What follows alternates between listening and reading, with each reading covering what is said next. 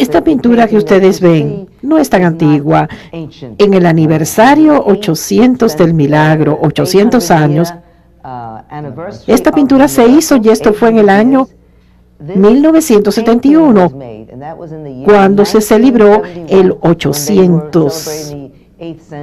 El centenario de este milagro se pintó en este cuadro de nuevo para recordarnos la historia.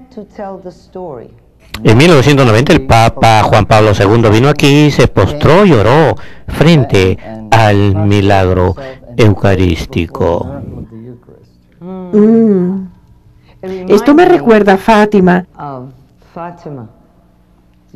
Me recuerda cuando el ángel del Señor le habló a los niños y de repente el cáliz y la hostia apareció suspendido en el aire.